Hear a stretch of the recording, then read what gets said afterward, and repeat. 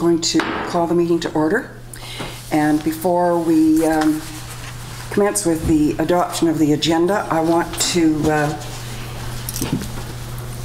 call Mr. Reed up to the front. Arnold Reed. Mhm.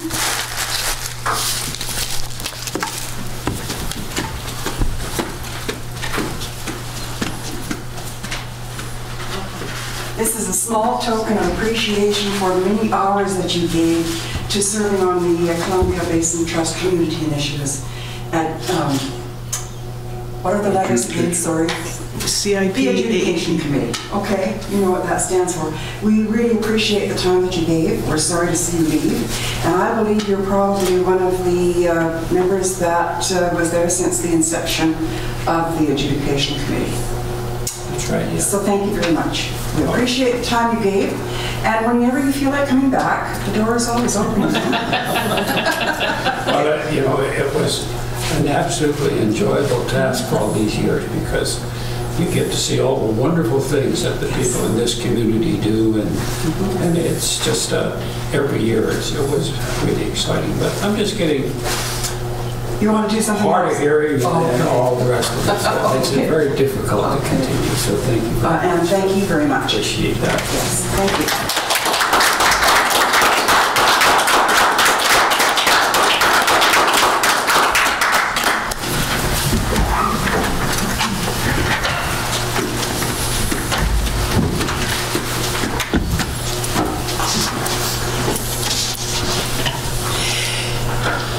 Your discernment made all the many hours over the years that I gave to get Valemount included in the Columbia Basin Trust made it worthwhile. Thank you. So, agenda item 2.1, I should uh, like a motion, please, to adopt the agenda.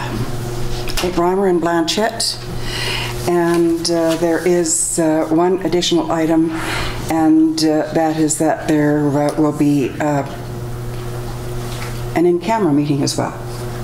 So as amended. Okay? All in favor? Carried. Adoption of the minutes of the May 9, 2017 regular meeting of council. Reimer and Blanchette. Are there any errors or omissions? Hmm? Hearing none. All in favor? Carried. Motion to adopt the uh, minutes of the April 25th Special Committee of the whole meeting, please. Salt and Torgerson. Are there any errors or omissions in that one? Yes, Councillor Salt. Uh, Just resolution numbering. We have two resolution number 01 slash 17. The second one should be number two. Probably just a glitch in the system again.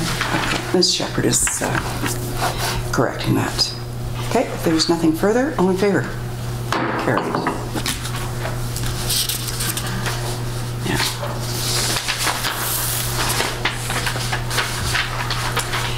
Agenda item 6.1. We have uh, correspondence uh, regarding the ALS uh, and Arthritis Society. Uh, Motion, please. We have the recommendation that they be granted permission to use the village tent for an event on June 4, 2017, subject to a damage deposit of $400 being provided to the village no later than June 1st. And Blanchette and Torgerson, is there any discussion? Hearing none, all in favor? Carried. Agenda item 6.2, the Valemount Lions Club request for a resolution of support. Recommendation reads that the following resolution be put forth by council in support of the Valemount Lions Club application to the Northern Development Initiative Trust Community Halls and Recreation Facilities Program. Council's wish, Torgerson and Blanchette. And that is that the village supports the application to NDIT from the Valemount Lions Club for a grant of up to $30,000 for the division of the hall project from the Prince George Region Development account. It is. Okay? Is there any discussion? Hmm? Hearing none, all in favor? Carried. Is there anything in the reading file that council wishes to bring forward? Yes, Councillor? Thanks to CBT for their new program, the New Heritage Program. Yes. We certainly can use that. Uh, Hopefully, I I know I alerted staff ASAP for our heritage building of the museum. So I think they're probably on it. Oh, I'm sure that they are. Councillor Reimer will know because he's on the board, yeah. And 8.1, accounts payable report. Recommendation that the April 2017 accounts payable report be accepted for information. The council's wish? Blanchette and Torgerson, is there any discussion? Hearing none, all in favor? Carried. Agenda item 8.2, information regarding committees and commissions. And the recommendation is that the report regarding a proposed airport commission be accepted for information. Torgerson and Blanchette. Is there any discussion? Any comments? None? Okay, all in favor? Carried.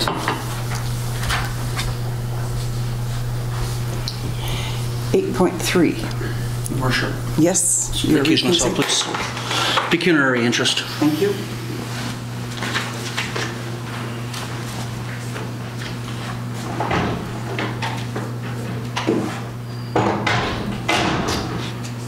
We have two recommendations. One, that this report be received, and two, that a waiver of the minimum 10% frontage rule be granted to 107 223 BC Limited for lots 24, 25, 26, 27, and 28 within their proposed 37-lot subdivision in Lot A, District Lot 7355, Caribou District Plan EPP 61378. What is council's wish?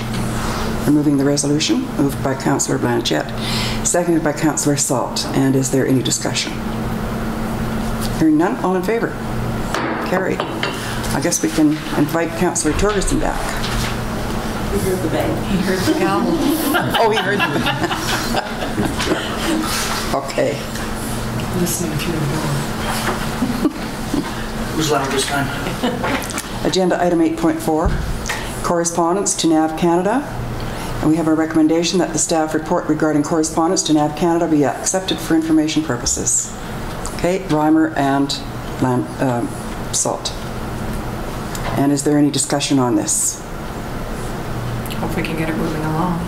Yes, Councillor Reimer? I think the uh, le- letter was well written, Yes.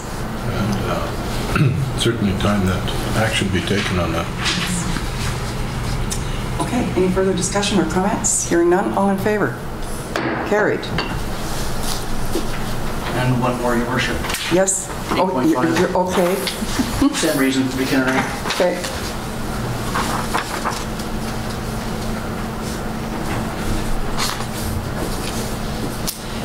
Okay, agenda item 8.5, proposed development variance permit for 1805 Dogwood Street. Recommendation that development variance permit 0317 to vary sections 2.02, 2.06, and 2.08 of the Valemount subdivision and development servicing bylaw for the proposed subdivision at 1805 Dogwood Street, legally legally described as Lot A, District Lot 7355, Caribou District, Plan EPP 61378, be given final approval. Okay, Blanchette and Salt. Is there any discussion? Okay, hearing none, all in favor? Carried.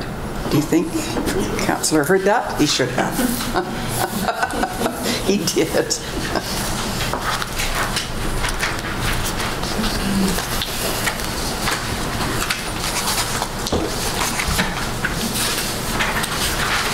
Welcome back.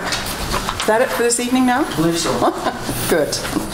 Agenda item 8.6, Village of Valemount Municipal Insurance Request for Proposals.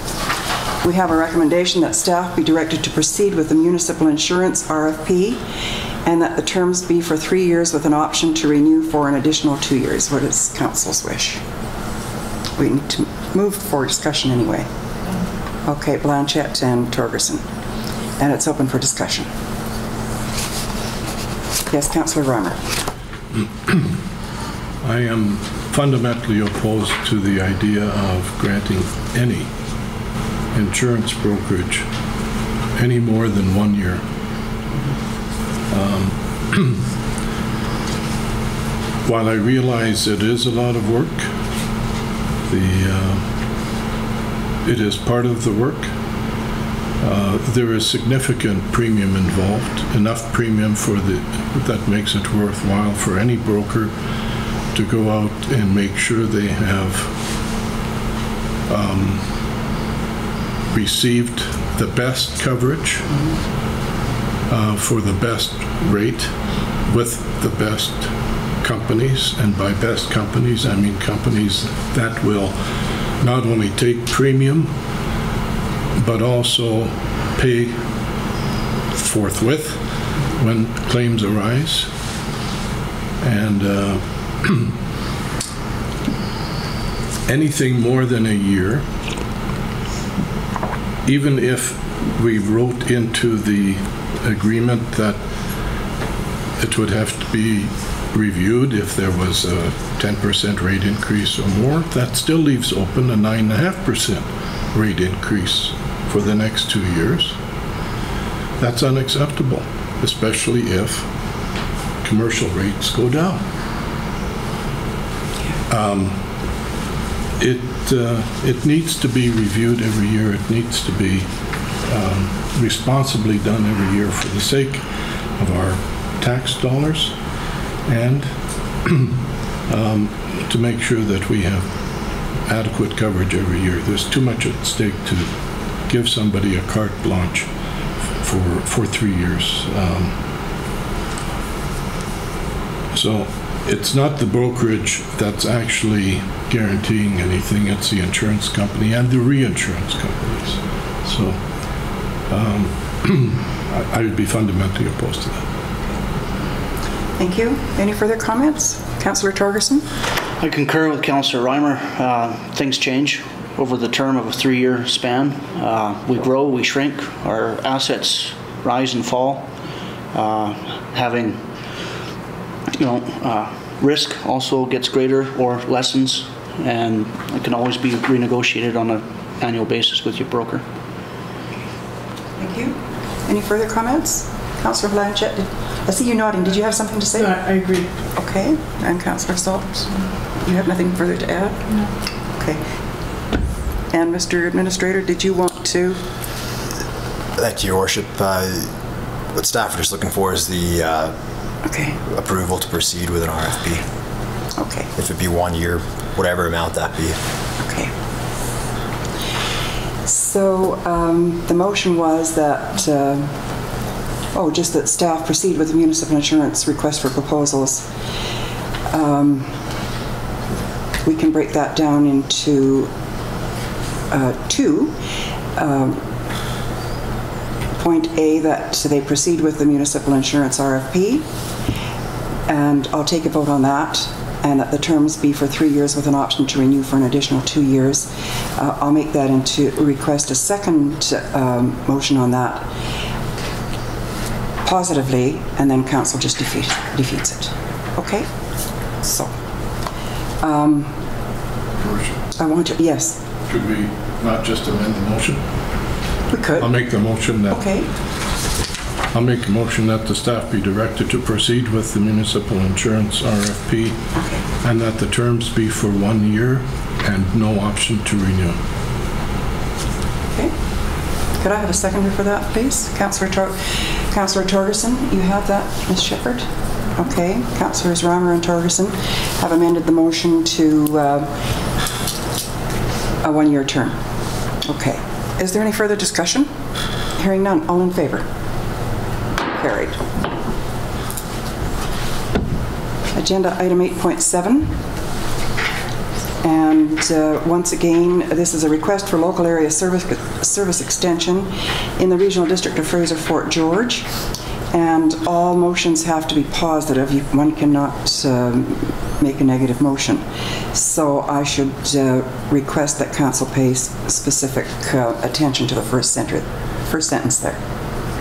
So I'll take a motion, please, for, to put it on the floor. Councilors Blanchette and Torgerson. Can I Discussion, certainly. move that council approve the extension of the village water service outside the village boundary, specifically to 2020 Hillside Mine Road. Regional District of Fraser Fort George, legally described as Lot A, District Lot 7354, Caribou District Plan, BCP 27480. Yes, that's fine. Okay. So is there any discussion on this? Hearing none, all in favor? Opposed? Defeated. Thank you. Okay, we move on to the Funky Goat Eatery, and uh, this is a public, yes? You Uh, to skip ahead because the public hearing. Oh, that's right, it's not till 7:30. Okay. Forgot that. And Mr. Simmons reminded me this afternoon that this was a timed item. But it's the first time that we're doing it that way here. So, agenda item 10.1 and council reports. I'll start with um, Councillor Torgerson this time. Very quiet couple weeks for myself. I had a VARDA meeting uh, on the 10th, and I participated in a uh, Columbia Operations Conference call with BC Hydro on the 16th. Okay, thank you. Councillor Salt? I have a little more reporting, but actually not a whole lot, uh, because I was away last meeting. So I did attend the Regional Emergency Management Committee of the Whole on April 25th. Then I attended uh, the Trans-Canada Yellowhead Highway Association AGM, and uh, we had a good turnout, so a really good year, and some exciting times to come. And then I attended the NCLJ AGM and convention in Terrace the first week of May. And very busy, hectic week as well, but good networking again, meeting new people, sharing ideas and, and commonalities and things to bring back and, and do here. And that's it for council. Okay, thank you. Councillor Reimer? I was at uh, Economic Development Committee meeting on May 11th, where we uh, did clarify commission committee again. Good. Thank you. Councillor Blanchette? Um, Just on the 15th, I drove up to McBride for RVSS, and then I flew back here with my hair on fire to attend the uh, Children and Youth Mental Health meeting. Thank you very much. Okay, I too attended the Economic Development Committee uh, meeting on May the 11th, and uh, I'm pleased with uh, the commitment that the members give to uh, EDC.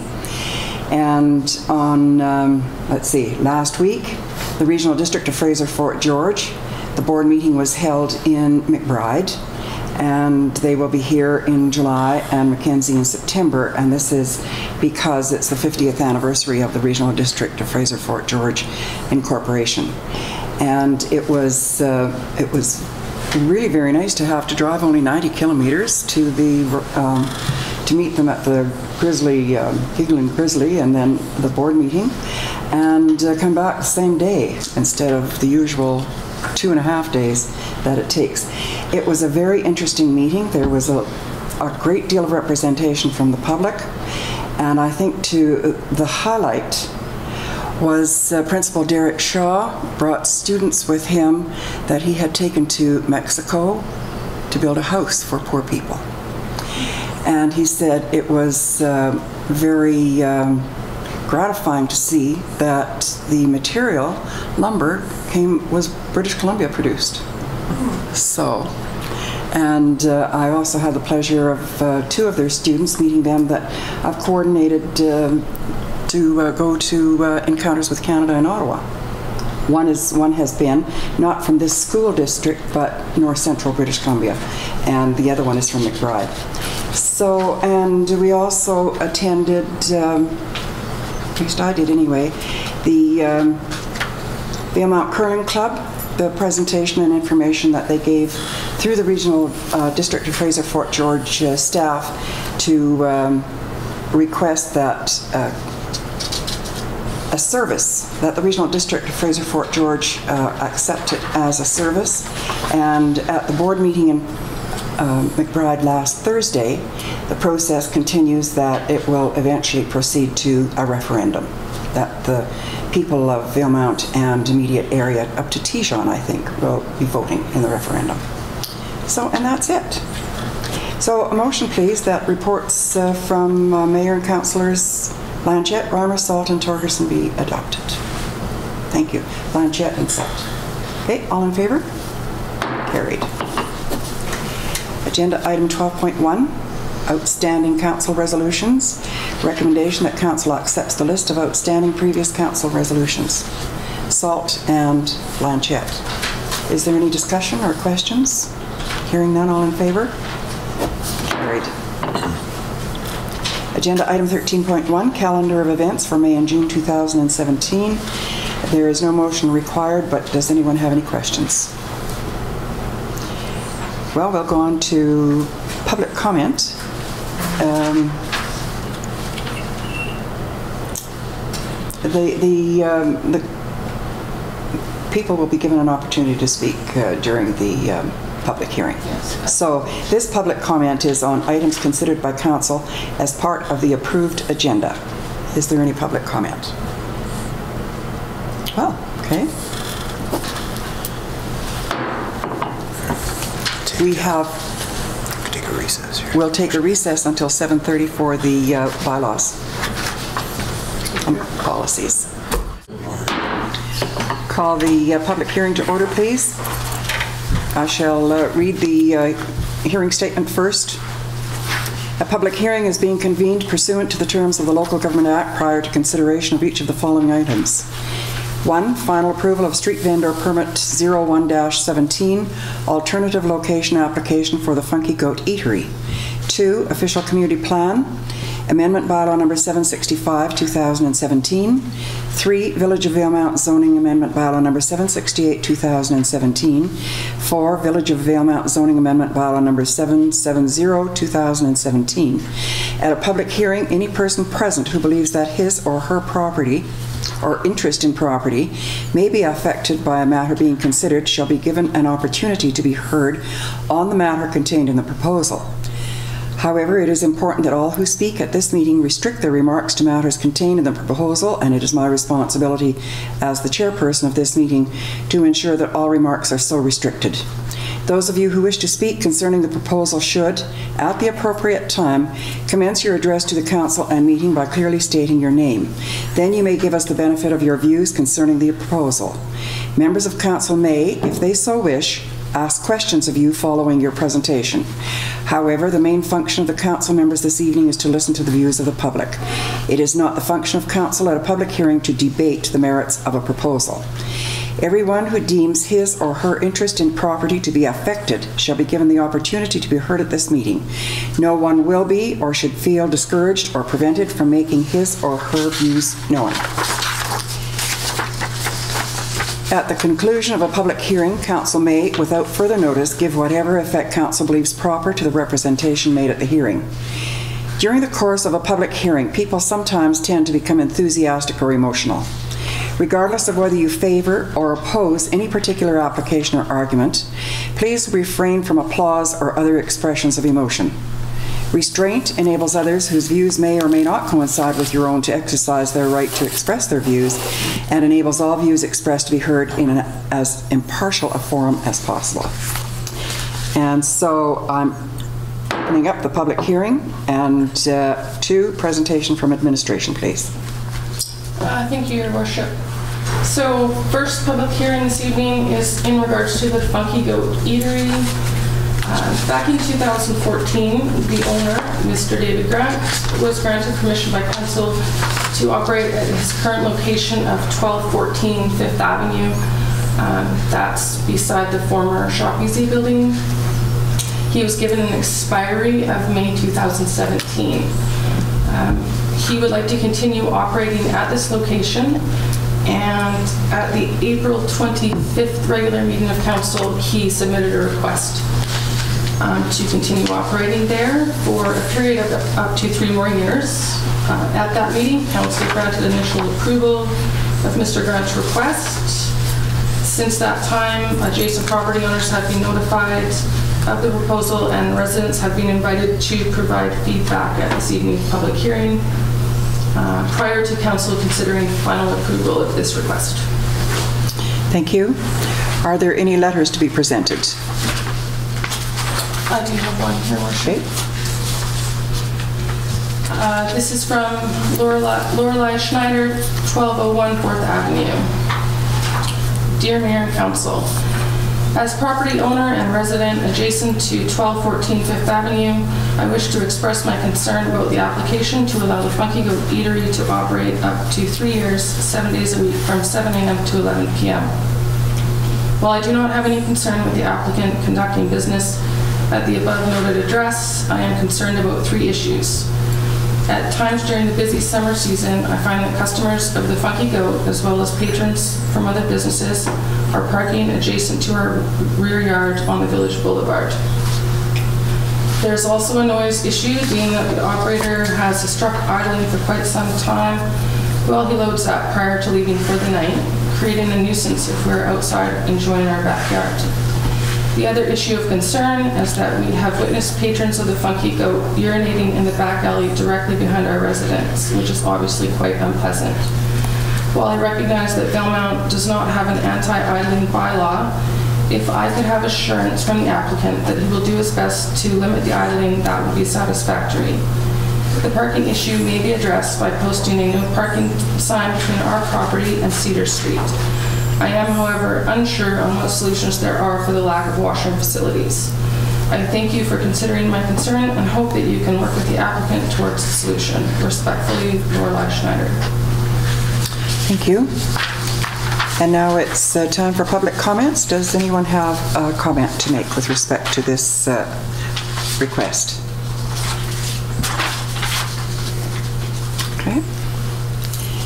Hearing none, I close the public hearing. The recommendation is that if there are no major issues arising from the public hearing, it would be in order that final approval be given for the Funky Goat Eatery to continue operations at its current location of 1214 Fifth, uh, Fifth Avenue for up to three years. This has to be specified by council, and subject to compliance with the Village of Valemount Street vendor bylaw. What is council's wish? Councillor Torgerson. I'll move that final approval be given for the Funky Goat Eatery to continue operations at its current location of 1214 Fifth Avenue for up to three years, subject to compliance with the Village of Valemount Street vendor bylaw and uh, with the hopes that the proponent can work with both adjacent property owners and the public to assure that perhaps even the washing facilities at Centennial Park can be utilized. Thank you. Do I have a seconder? Councillor Salt. Any further discussion? Councillor Reimer and Councillor Blanchette next. If there's another complaint like this, uh, subsequent complaint, um, we have the authority to, uh, first of all, close it down. Um, And certainly to uh, issue a warning letter to the operator to say, address these problems or you will be shut down um, under this terms, right? So with that in mind, I think that the, um, uh, that Lorelei's letter should be addressed and should be, she should be given assurance that these matters are serious, that they will be dealt with, and if there's any future um, violation of these where it impacts the neighbors, that, uh, that there will be consequences. It- And, it- and that they should be free to make those um, uh, comments if that happens again, so that uh, we're not waiting three years before we find this out. It shouldn't have gone on that, this long. That's true. Okay, Thank you. Anything further, Councillor? That's, Okay, Councillor Blanchette. That's pretty much what I was going to ask. Um, Did a letter go to um, the owner of the eatery saying the concerns and that they need to be addressed? So is there any further discussion, or you're ready to, for the question? Okay. All in favor of the motion as amended? Carried. Agenda item 9.1, Village of Valemount Official Community Plan Amendment Bylaw Number 765, 2017. And I'm opening the public hearing for that, and a presentation from administration, Mr. Simmons. Thank you, Your Worship. Glad to see you. Okay, this is a community plan amendment which was uh, directed by council, a housekeeping type bylaw to change the community plan a little bit to meet with current, uh, today's current uh, legislation and what's happening around Valemount. Ultimately, the council's uh, decided that with the Valemount Glacier Destination Resort coming on stream, that a complete community plan rewrite will be required at that time. And that's quite an expensive proposal, so we're able to buy a bit of time by this sort of a housekeeping amendment bylaw. The process, of course, uh, took quite a while. We had an open house. Uh, some of the people here were at the open house with their comments. Uh, after first reading, we went to what they call a public consultation. And again, uh, there were, were some comments there. What we've done is um, come up with a couple little amendments that uh, address some of the concerns raised at the public consultation. If council uh, agrees with these little amendments and gives third reading to the community plan amendment bylaw tonight, then we go through another little process, which we kind of have already done, but we're going to formalize it by checking with the capital expenditure plan and the waste management plan and a couple other things that legislation requires we do before council can adopt it. Again, it's uh, I've been through this with virtually everybody that's been here. Is this is um, a housekeeping bylaw in that we got rid of the old Canoe Mountain Resort references that were at about the same stage as Valemount Glacier Resort at, at the time, and we replaced them with Valemount Glacier Destination Resort. We uh, updated some of the data, school, um, jobs, population, and things like that. We revised a few of the phrases to make it a little easier to understand. We included one um, fairly hard clause in the commercial central business district, which allows council then to adopt a concurrent zoning bylaw having to do with residential uses in a commercial zone. The amendments, the two amendments that came out of uh, the public consultation, one had to do with uh, alternative energy sources, and admittedly, there wasn't much included in the in the, the original draft because there wasn't much happening right in the village within the village boundaries. So what we've done is propose this very small amendment that says the village will support stuff that's happening outside the boundaries as well. The other uh, item was affordable housing. And we actually went in and did a fair amount of research on this. Um, most of the other jurisdictions that we checked have, we have virtually the same things. We expanded, one of the little amendments is an expansion on the seniors facets of affordable housing to see if we can make it a little clearer for the public and for council in terms of support. So uh, these are very small amendments and council can give make the amendment and then give the bylaw third reading as amended if they so choose. Uh, I think that's in general terms about the the whole process that we're going through, and I would be happy to answer any questions.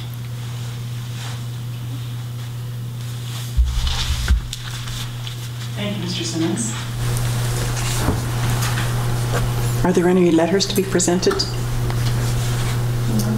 None? All right, we're open for public comments. Are there any public comments with respect to the uh, official community plan?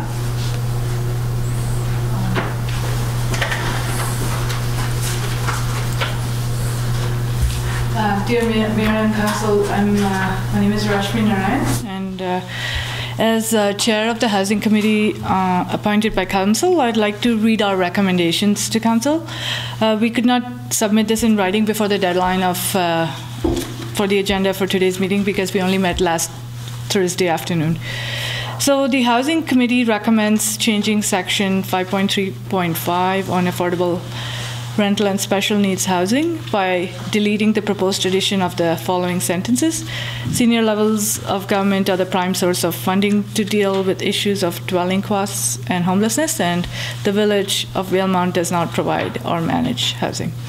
So the committee recommends that the deletion of the above sentences for two reasons. Uh, one, in order to secure funds for affordable housing, the village of Valemount needs to demonstrate a willingness in principle to support the development of affordable housing. And the second sentence uh, precludes options like creation of a Valemount Housing Authority as a suitable organization to create and manage affordable housing for Valemount. Housing Strategies Inc. Uh, recommended in the Housing Assessment and Needs Study that Council consider creating a municipal housing authority. This recommendation, along with others, was accepted by Council in February 2016. Uh, that's all uh, the comment I have from the Housing Committee. Thank you. Does council uh, have any questions? Or, oh, are there any further co- uh, public comments? Sorry. Yes. Um, is this including bylaw number 768 specifically to the, no, okay.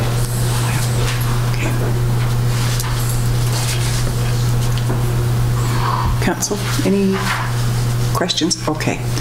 Then, uh, if there are no further public comments, I'm going to close the public hearing. And a recommendation, if no major issues arise from the public hearing, it would be in order that the Village of Valemount OCP Amendment, bylaw number 765, 2017, be given third reading. What is council's wish? Yes. Uh, How do I do this? I move that the Village of Valemount official community plan be given third reading uh, with further recommendations being considered from the Village of Valemount Housing Committee. Is that acceptable? Uh, I'd like to see the- what she read. I mean, I couldn't write it all down, so Okay. yeah, if we could get a copy. may- uh, You may ask questions, or, you know, um, before I close the uh, public hearing. Of, of the presenter, yes, Mr. Simmons. I think you've actually closed the hearing, haven't you, Yes, I, I did. Might I, might I suggest Yeah.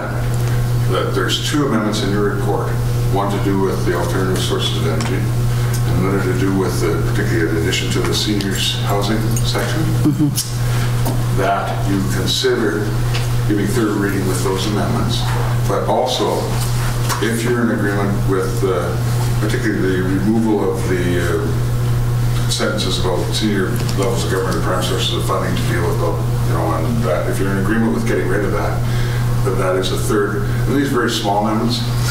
So basically, if you wish, you could give a third reading with those amendments, Okay, if you, if you choose. okay. Okay. Yes, does Councillor Reimer? I believe it is senior levels of government and only senior levels of government, in other words, provincial, federal, that actually do have the funding. Um, And that as a local government, um, that our role is to facilitate by way of zoning and, and uh, bylaws to make areas available. But um, local government um, cannot be involved in funding. I think, so it is correct that senior levels of government, and only senior levels of government, uh, fund, no matter, matter whether it's in this province or any other province. Um, That's correct.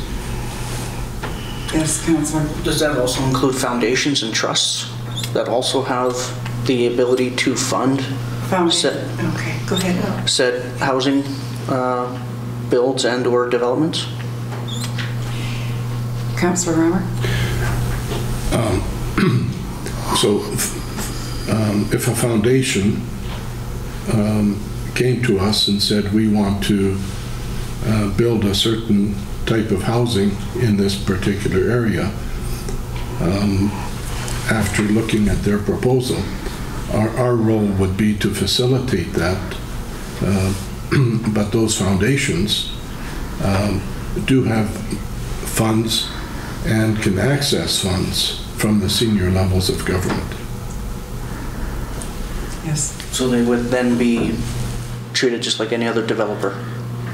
They're building something and we would provide a permit and they would go ahead and build it. That is correct. Is there any further discussion? What I want, um, I would like it specified to me. Is the recommendation that the Village of Valemount taxpayer support affordable housing? That's what I want, clar, I want clarif, I seek clarification of that. Do we burden the local taxpayers with the cost of affordable housing? Yes. I didn't hear that in the uh, report. But only the senior levels of government have the ability to fund, to provide the cost of affordable housing. The Village of Valemount does not have that. Miss- uh, Miss- Councillor Reimer and then Mr. Simmons. So fundamentally, over the years, from foundations that I've seen develop housing, whether it's senior level of housing, seniors housing or anything else, the foundation, uh, whoever that is, whether it's a private foundation, a, um, that's uh, put together by a certain denomination or, or interest group or whatever, that foundation has certain amount of funds available to it um, that they come to the table with. Um, could be funded by self-directed RSP money or RRIF money or that kind of thing or whatever, and then they go to the provincial government and to the federal government and say, here's our pool of money, this is what we're intending to do with it. They go to an area of, of the um, um, municipality that they want to build this in and say, this is what we want to build, this is the area we want to build it in, and then it's up to the, up to us as a local government to say, yes, we'll let you build this in this particular area, subject to these conditions, considering all the impacts. And the big problems in a lot of the bigger centers with this kind of thing is, depending on the kind of housing that these foundations want to develop, or the trusts, or whatever, um, the big hurdle they run into is that commonly uh, the area residents of those areas, if, if they're lower income scale um, type of housing, say, not in my backyard, thank you very much. And so now they go try to find another area that they can build this in or come back again. But uh, it is the, the, our role and our support to convince the residents that whatever proposal is being uh, given for housing development, that this fits in to this particular area that we're considering. And if we can facilitate that, then we've done our job as a local government. That's, that's how I see the picture. Thank you. Mr. Simmons, you want to add Your something? Worship, uh, I, th- I think the first clause is actually just a statement of fact. It's not any particular uh, council policy. So the suggestion of removing it, I don't think it's really, uh, it doesn't really be needed there. It was taken from other jurisdictions, which you put it in. But it's, in effect, it's a statement of fact. The more key one is, is B, work with federal and provincial agencies, the private sector, places of worship, service clubs, and nonprofit societies to promote affordable rental and special needs housing. And that's where you're stating your policy. And uh, the first, first clause, you know, the only reason that we incorporated it was that we have found other juris, a couple of jurisdictions that have done it. And all it does is state a fact, not a, not necessarily a policy council. So if you wish to amend the bylaw by removing that, it's very easy to do, and you would incorporate it in your final resolution. Thank you. Is there any further discussion, council? Any questions, council, of Mr. Simmons? I beg your pardon? It's just that I can't even think. Oh. Just trying to, Okay. Well, yes. so, um, did you work with the Affordable Housing Committee to, um, adjust this in the OCP? We did work directly with them. We took into account what they had uh, given to us in the public consultation, where they talked about alternative energy and uh, particularly more enhancement of the affordable housing thing. Uh, To be quite honest, we did, went through and reviewed other jurisdictions again, and we basically covered everything. We added a bit more on seniors housing, because it was uh, a sample from Fernie, I think, wasn't it? Was given to us that was totally related to seniors housing. I thought, well, we could expand on that a little bit, and that's in your report. Um, So we've taken what the Affordable Housing Committee gave us at the time, and again tonight, they've suggested we remove that, that clause. Okay, Thank you. that's not unreasonable. Okay. When I read that clause, uh, Mr. Simmons, I read it that uh, the senior levels of government have the financial ability to uh, produce uh, affordable housing. As the Village of Valemount, we do not. That's, that's great, Greg. Yes, Yeah, but in effect, it's a statement of fact. Yes. It's rather than, rather than a policy. yeah. Well, May I ask? uh, Certainly. Was there something else in your, today, you talked about that clause, but was there something else that I kind of missed a little bit? Um, One thing I'd like, but this is the fir- first official statement from the housing committee. The one at the last time was just from me, so I Oh, just, just, just so, uh, and the, the sec, um, the second sentence about, you know, the Valemount, Village of Valemount does not provide or manage housing.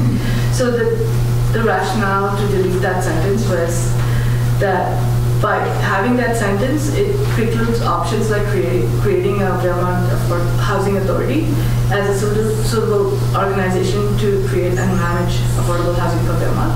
And this was one of the recommendations by the consultant, Housing Strategies Inc., uh, when they prepared the report to council and presented recommendations to council that was adopted by council.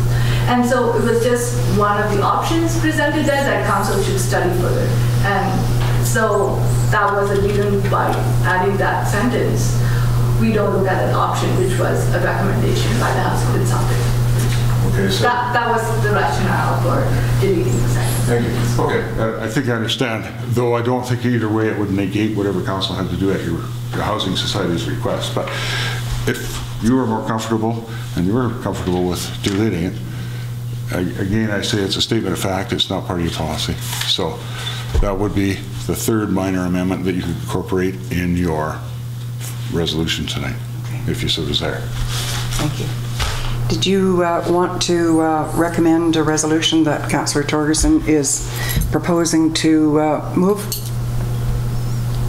Councilor Torgerson. Councillor Torgerson? Pardon? Did you want, uh, did you want Mr. Simmons to uh, help you with uh, the amendment to uh, the resolution that you were proposing? I think that was pretty spot on. Okay, We have recommendations from the Housing Committee. okay. We have an amendment uh, from Mr. Simmons. Uh, I'm comfortable with that. Okay. I, um, my only, um, I still require clarification. Is there a recommendation that the Village of Valemount actually, fr- using our taxpayers' money, to provide or construct affordable housing? I want clarification of that. There, we have people here who are on fixed incomes who couldn't afford that. Yes. May I ask the question of the chair of the Housing Committee? Or or Mr. Simmons? Ask Mr. Simmons, please. Is there anything in the OCP uh, review that pertains to taxpayers taking on the burden of affordable housing? No, with one exception. That being, That being that the village can consider the creation of a bylaw which will determine what an eligible development is, as per section 563 of the Local Government Act. Adoption of this sort of bylaw would allow some reduction in development cost charges. Okay, so it's not necessarily coming out of the taxpayer's pocket, but not quite as much as going in. Okay, and that would be a separate bylaw created by council, but this community plan then supports that concept, much like that little amendment we did for the commercial zones. So now the zoning and other bylaws can be consistent with it. Okay, d- uh, Councillor Reimer? I I would, I wouldn't have a problem with uh, anything that we could contribute to lessen the cost, including uh, reduction in development cost charges, and that kind of thing, that we would be able to uh, Uh, do that as a community. I think if that is a statement of fact, I think for clarity purposes, leaving that comment in and making sure it is a statement of fact, and that any future council or anybody in the future can't interpret that as being policy rather than a statement of fact, perhaps it should be left in.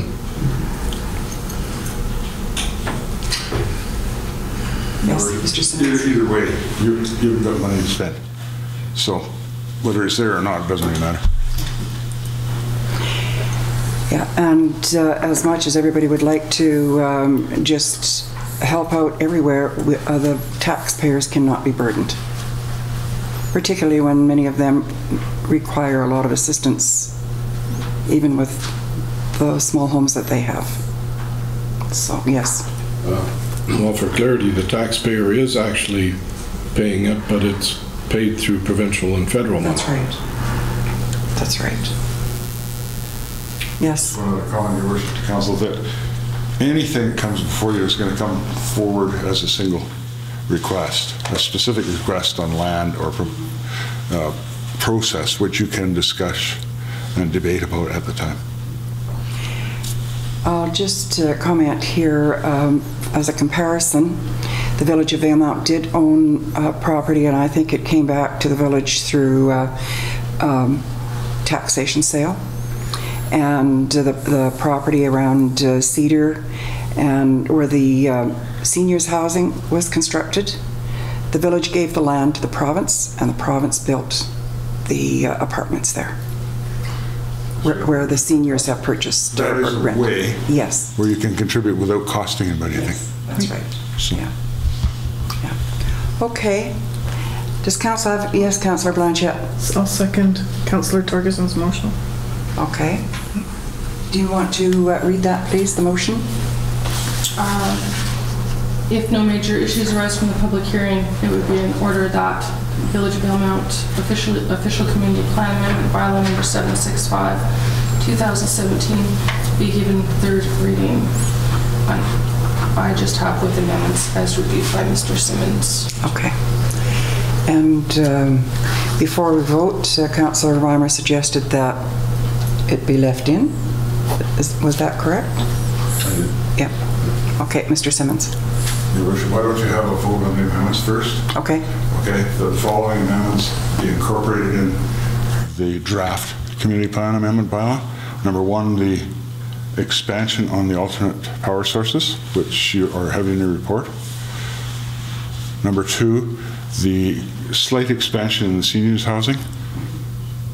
And number three, on the removal of the first clause in the senior levels of government, blah, blah, blah. Okay?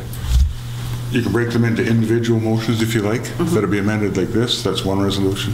That'll be amended like that, second resolution. It'll be amended like this, third resolution. And then the final one, give it third reading as amended. Okay, Okay. so, do you want to uh, read read the uh, motion, please, as Mr. Simmons has suggested? I think he's going to have to help me out on this. Okay, that's all reading right. fast He's- enough. he's here. So, The first recommendation, uh, that amended- amendments be included in the draft OCP, including the first one about, There was some phrases, phraseology of uh, greenhouse gas, uh, solar and wind energy, if I recall, in the area. okay? Again, we commented earlier that we don't, apart from solar power right in the village, um, everything else is just outside, so we had to kind of expand it a little bit. It's out in the regional district. So that would have been the first one. We add that. Okay, so let's deal with that one first. Okay? So um, I'll take a separate motion, please, for that amendment. Blanchette and uh, Torgerson. Is there any discussion on that one? Hearing none, all in favor? Okay, now amendment number two. Yes, yes. Uh, There was, a- and Ms. Shepherd has the the wording in the report. Okay. Uh, Yes, Sorry, Mr. Worship, Gady. I can read that out. Oh, Uh, The okay. revised clause within section 5.3.5 uh, states, support the development of more senior housing by encouraging the development community to consider low-cost, affordable, single-level residential development through strata subdivision or other means to ensure there is an inventory of homes suitable for seniors in the community. Thank you. Could I have a, Torgerson and Blanchette, is there any questions or comments? Hearing none? Yes, Councillor Reimer? That relates particularly and only to seniors? To Seniors. Scratch, Your Worship. Would there be a problem if that related to any housing to be included, uh, where seniors and low Mr. Simmons? Basically, uh, it was specific to seniors, but I, I don't see any problem with looking at it and saying, well, we do it for seniors, we do it for somebody else too. The other clauses in there, basically, you work to promote affordable rental and special needs housing. Already sort of is covers that thing. In order to uh, work a little closer with the Affordable Housing Committee, we expanded that seniors thing. Um, just so it's a little clearer for councils to come. But in reality, it doesn't matter who, you're promoting affordable rental and special needs housing through this community plan amendment. And you're also promoting uh, affordable staff and student housing, which is a big thing if you're going to get more hotels and resorts and stuff like that. So it's already in here, you're promoting that. So if a developer comes in, um, I want to build a big hotel or, or, or um, developers up the hill want to have staff housing, want their people to live in town. If that's part of the village, then this community plan, or the new one that's being rewritten, can certainly apply to it. Does that answer questions? Yeah. I think um, it it would be good if the village could do, some- you know, have more property that um, could be donated to a senior level of government for them to uh, construct affordable housing. But it has to be clear that the village taxpayers cannot accept that burden. I don't know of any local government, and I've been asking around, that does. Perhaps Vancouver can do that, but they can afford to. And Vancouver works under a different charter as well. so- Yes, that's right. Okay. Okay, so if there's no further um, comments or questions, I'll take, uh, you ready for the question? For the Second Amendment? Yes, Second Amendment, yeah. All in favor? And opposed? Carried. And Amendment number three. Um, And it is to amend the draft OCP to, um, I'm not clear whether we want to include the clause regarding federal and provincial funding. Remove it. Is this already? So it'd be to amend the OCP, draft OCP, to remove the clause regarding financial and provincial funding of affordable housing. Okay. And I think Councillor Torgerson made that motion. Okay. And is there a seconder? Councillor Reimer? Okay. Any discussion here? Okay. Yes, Councillor Schultz? So the concern about that clause still being in there is that it's going to hinder the ability to have a housing commission, well, not commission, what was it? Authority? Authority? It won't hinder that? Your Worship, uh, to Councilor Sutton, I don't believe it'll hinder one one way or the other. Um, It is a statement of fact. But, again, whether it's in or not, it's still there. So, Okay. So if there's no further questions or discussion, all in favor? Carried. All right. Now we um, do the, um, that the Village of Valemount Official Community Plan Amendment Bylaw Number 765, 2017 be given third reading as amended. Okay? Blanchette and Salt. Any discussion? Hearing none. All in favor? Carried. Thank you, Mr. Simmons. Thank you. Okay.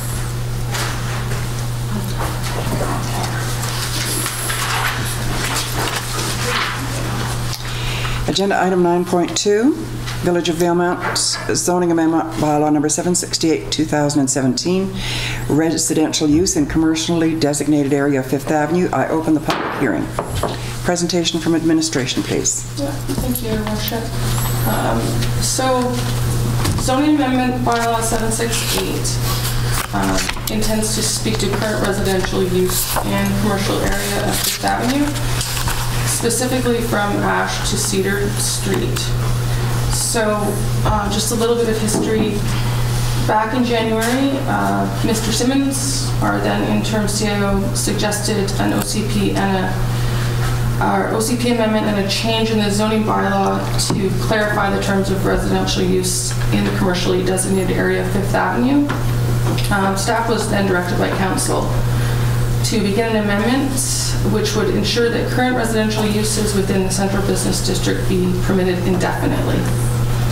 Uh, So essentially, that's what we've done in the amendments. We've listed the properties that have a current residential use, listed them by legal description, and proposed that um, these properties be permitted to continue a residential use until, until such time that there's commercial use on the subject property for a period of six or more consecutive months. Um, So in doing that, we're giving the property owner the choice to continue indefinitely um, until they choose to continue with the commercial use. Uh, The proposed amendment will also ensure that standard residential accessory uses will be permitted on Fifth Avenue commercial lots with residential use. These amendments were put before council at the April 25th regular meeting and given first and second reading. And we're here, of course, this evening to receive public comment prior to council's consideration of third reading. Thank you. Are there any letters to be presented? No? All right. Public comment? Yes?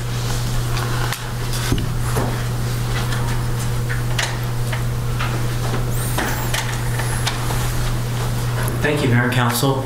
Joseph Newsy, 1070 Fifth Avenue. Um, First of all, I'd like to thank village staff, specifically Carleena, for prompt reply to my voicemail and helping to clarify the nature of the proposal and the, uh, mainly the motives behind it. Um, I appreciate the forward-looking nature of the proposed changes, but I'd like to close some issues I see in regards to the precedent it may set. I do still have some concerns about the implications of these changes, concerns that I think can be remedied by either amending or adding some wording to the proposed bylaw, or at the very least having some confirmation on the public record for future reference. As such, please bear with me as I list my concerns and proposals, at least for the public record.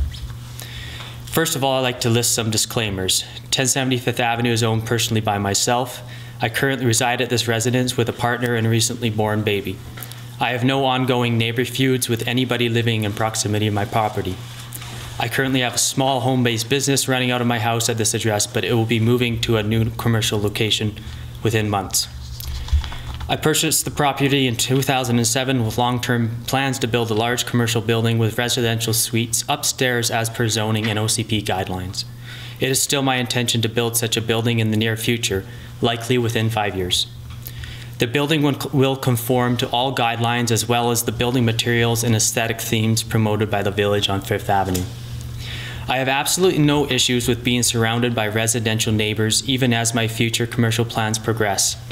However, I do want it clarified that the proposed changes to allow permanent residential use on Fifth Avenue commercially zoned properties will come only with the explicit understanding that concerns of a residential nature will in no way affect or even delay consideration for development of a commercial building proposed by myself or any other property owner of commercial lands on Fifth Avenue. Such, such concerns of a strictly residential nature may include, but not be limited to, heights of commercial buildings falling within pre-existing or reasonable commercial guidelines, ease of parking due to increased traffic driven by increased commercial use, specifically opposition to parallel parking as per the rest of downtown Fifth Avenue, noise generated by commercial traffic, especially as Fifth Avenue becomes more and more busy and business hours stretch into, into the later evening. Opposition to continuing the commercial sidewalks of downtown Fifth Avenue as commercial properties fill out with more commercial buildings. Any concern that would clearly not be an issue if a commercial building were being built at another location surrounded by other commercial buildings. In short, I would like the, the, to clarify, either explicitly in the bylaw, appendix guidelines, or on the public record, that permitting permanent residential use will never translate into accommodation of permanent residential use on Fifth Avenue. This is especially of concern in the scenario where such residential concerns are not forwarded formally, but potentially find the ear of symp- sympathetic councillors in the future, who may delay a commercial de- development by the dreaded over accommodation of unfounded or unentitled concern, or concerns that should have never found an ear in the first place.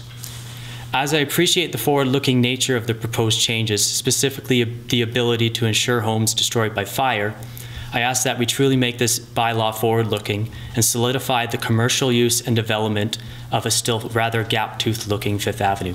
Thank you. Councillors, do you have any questions for Mr. Nussi? Thank you.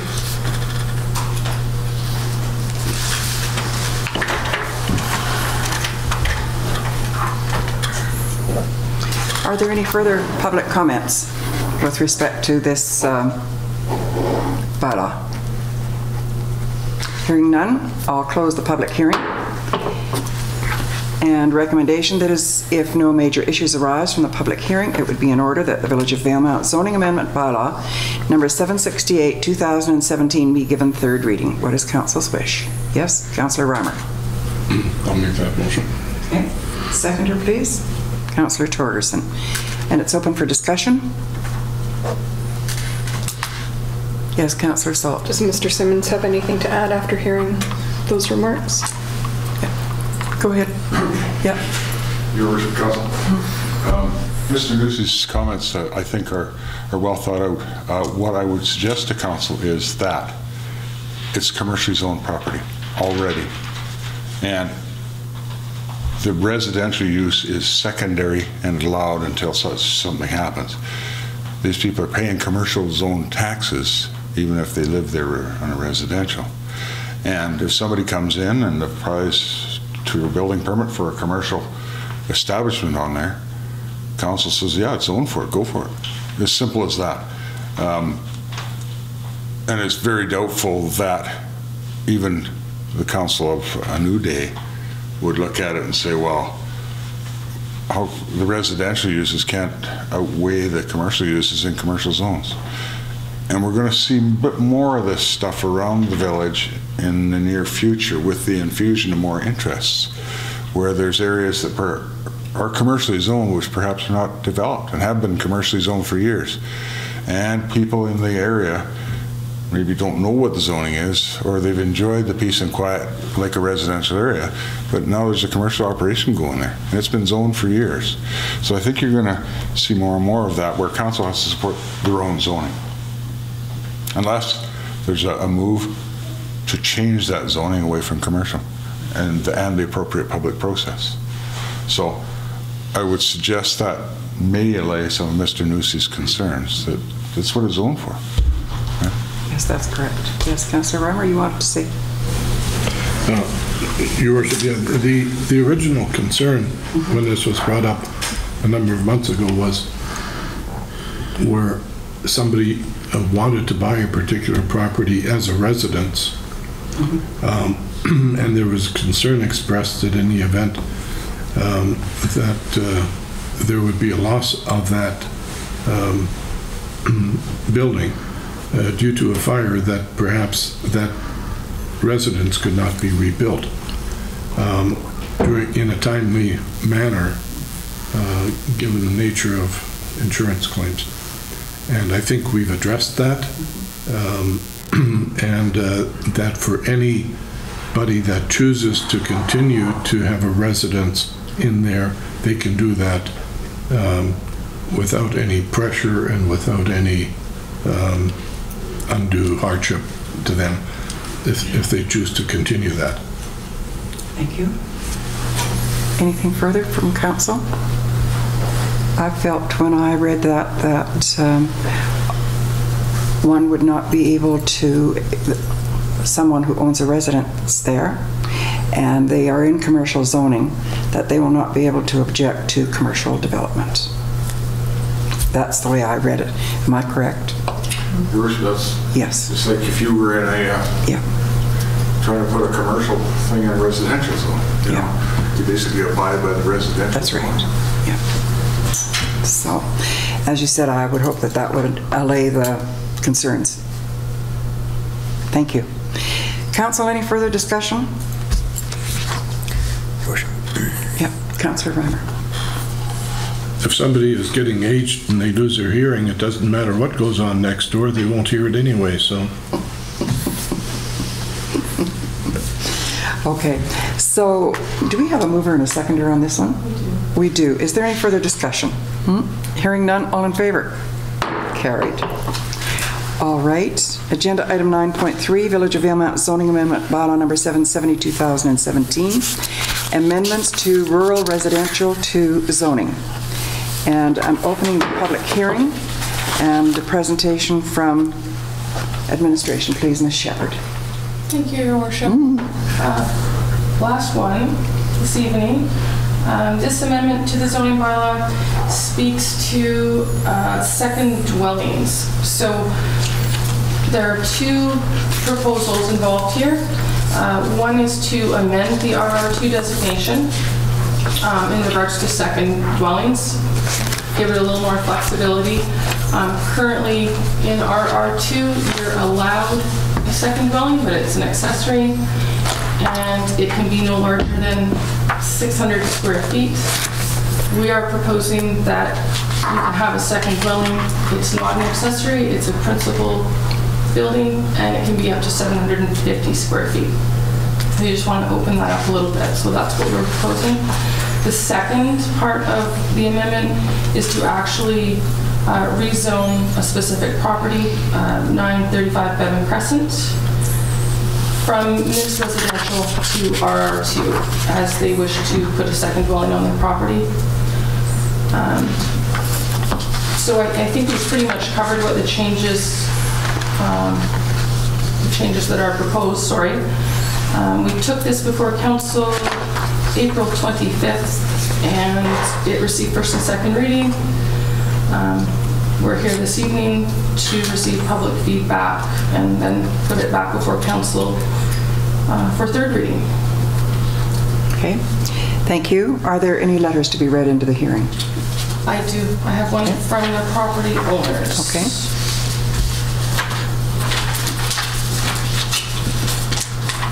Uh, So from Dwayne and Diana Smith, 935 Bevan Crescent. Dear Village of Valemount Mayor and Council, we are looking for your support and approval of adding a small residence approximately 750 square feet to our current location at 935 Bevan Crescent. Plan 23725, Lot 15, District Lot 7355, so that we may build a home for our aging grandparents. They currently own a property in the community but are struggling to maintain it due to their age. My husband, myself, Elmer, and Doreen have discussed the options of a secondary residence on our property and feel it would be in their best interest to be where a family can help and support their changing needs. We are looking to build a unit that will be a single-story home, easy access and mobility, which includes two bedrooms and bath with a kitchen and living room. We are requesting 750 square feet of space for two bedrooms due to sleeping issues. The property that we live on is .93 acres and currently has our home and a garage located on it. They moved from San Samron three and a half years ago due to issues of maintaining their place to be closer to family for help and support. With building a place on the lot, there should not be any issues of maintenance for them, as it would be a new building and the land is already maintained by us. They still have the freedom of living independently and have the comfort of knowing that family is near. It is, it is important for aging seniors to have the support and care from their families to still maintain their independence and continue to do the things they love without the pressure of having to do it on their own. We believe that we can achieve this if you allow us to provide this home on our property for our aging grandparents. It would give them the options to garden if they wanted, continue to have their dog in their home, and have lots of family gathering and generational sharing between them and the family. If you have any questions or concerns, please contact us, and thank you for your considerations on this matter. We look forward to hearing from you on this matter. Sincerely, Dwayne and Diana Smith. Thank you. No further letters? Okay, it's open now for public comment. Yes, Um, Just uh, make a comment to it. Um, I'm Rashmi. please uh, come to the podium. Um, I'm Rashmi Narayan and I live in Valemount. And I, I support this uh, rezoning partly from a housing, uh, with my housing hat on and housing interest. I think it allows more diversity in the housing market uh, in doing that. And I think council should open, instead of having selected bylaws addressing one property at a time, uh, it should consider having uh, this option of a second dwelling on a property based on parcel area. If the parcel area is big enough to allow a second home, uh, a second primary residence, then that would be useful in uh, being more flexible and allowing housing options for the community.